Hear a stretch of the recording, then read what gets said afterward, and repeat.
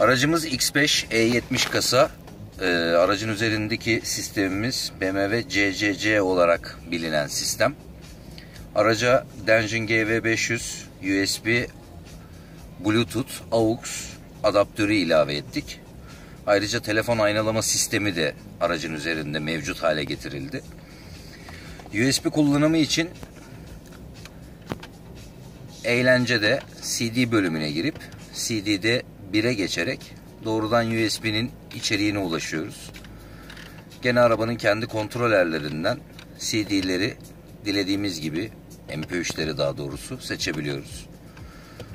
Kaynak dosyasına giderek burada dosyaları, o an çalınan müziği, müziklerin filtrelemesi, e, iPod'da olduğu gibi sanatçılar, albümler ve şarkılar şekliyle bulabiliyoruz. Gene root içerisine gittiğimizde ayarlara girip araç içi ayarlamalarını kendimize göre yapabiliyoruz. Aynı zamanda Bluetooth audio da araçta mevcut hale geliyor bu adaptör sayesinde. Bunun haricinde araçtaki telefon aynalama sistemi araca ilave edilen bir video interfez aracılığıyla sağlanıyor.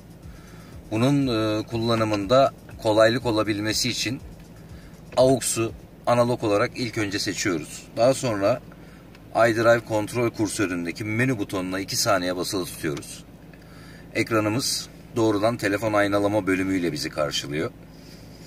Bu karşılamadan sonra telefonumuz Android veya iOS olması önemli değil. Her ikisi için de geçerli. Öncelikle telefonumuzda Wi-Fi bölümüne giriyoruz. Wi-Fi bölümünde ekranda görülen X-Link B7AA aynı şekliyle Wi-Fi olarak bulundu. Bağlanıyoruz.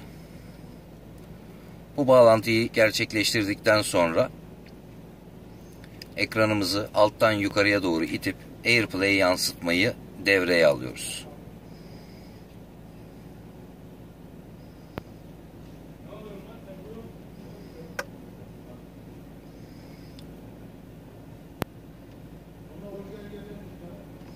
Artık telefonumuzun ekranı aracın ekranına yansımış durumda.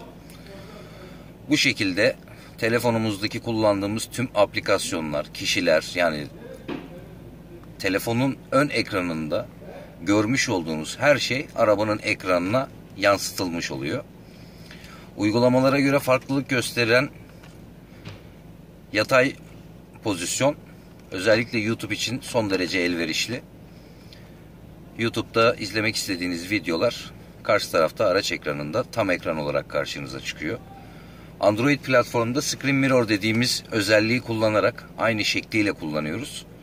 Hatta yardımcı e, Rotation Manager diye adlandırılan programlar sayesinde de telefonumuzun ekranını tam anlamıyla yatık olarak karşı tarafta çıkmasını sağlayabiliyoruz.